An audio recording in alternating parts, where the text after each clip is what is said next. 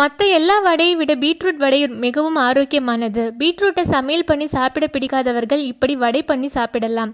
Taste மற்றும் சத்து இரண்டும் சேர்ந்து கிடைக்கும். பீட்ரூட் வடை செய்வதற்கு முதலில் கிண்ணத்தில் அரை கப் கடலைப்பருப்பு மற்றும் அரை கப் துவரம் பருப்பு எடுத்துக்கொள்ளுங்கள் போதுமான தண்ணீர் சேர்த்து இரண்டு மணி நேரம் வரை ஊற வைக்கவும். தண்ணீர் முழுவதுமாக இருக்கப்பட்டு பருப்பை வடிகட்ட வேண்டும். இப்போது வடிகட்டிய பருப்பை மிக்சியில் போட்டு நன்கு அரைத்து கொள்ளலாம். ஒரு கப் பீட்ரூட் வெங்காயம் மூன்று டீஸ்பூன் கொத்தமல்லி இரண்டு மிளகாய் அரை தேக்கரண்டி இஞ்சி பேஸ்ட் சிறிது கருவேப்பிள்ளை ஒரு தேக்கரண்டி சீரகம் பெருங்காயம் முக்கால் தேக்கரண்டி உப்பு சேர்க்கவும். பருப்பு எல்லாவற்றையுடன் சேர்த்து நன்கு கலக்க வேண்டும். இதனுடன் இரண்டு டீஸ்பூன் அரிசி மாவு சேர்த்து கொள்ளலாம். ஒரு மென்மையான மாவு பாத்திரத்தை தயாரிக்க வேண்டும். இப்போது நமக்கு வடைக்கு தேவையான கலவை நன்கு கிடைத்து விட்டது. கலவையை சின்ன சின்ன உருண்டைகளாக உருட்டி கைகளால் வடையை தட்ட வேண்டும்.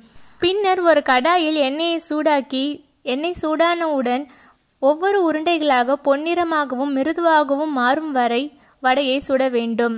சுவையுடன் ஆரோக்கியம் கலந்த பீட்ரூட் வடை தற்போது ரெடி பீட்ரூட் வடை பர்ஃபெக்டாக வர வேண்டும் என்றால் ப மாதிரி பருப்பை குறைந்தபட்சம் இரண்டு அல்லது மூன்று மணி நேரம் வரை ஊற வைக்க வேண்டும். இல்லை என்றால் அரைக்க கொஞ்சம் கஷ்டமாக இருக்கும். அரைக்கும் போது தண்ணீர் எதுவும் சேர்க்க வேண்டாம். இரண்டாவதாக பீட்ரூட் கூடுதலாக கொஞ்சம் சோளம் கேரட் மற்றும் வெங்காயம் இந்த மாதிரி கொஞ்சமாக காய்கறிகள் சேர்த்துக்கலாம். கடைசியாக மிதமான சூட்டில் பீட்ரூட்டை கொஞ்சம் வறுக்க வேண்டும். இதனால் வடை மொறுமொறுவென்று கிடைக்கும்.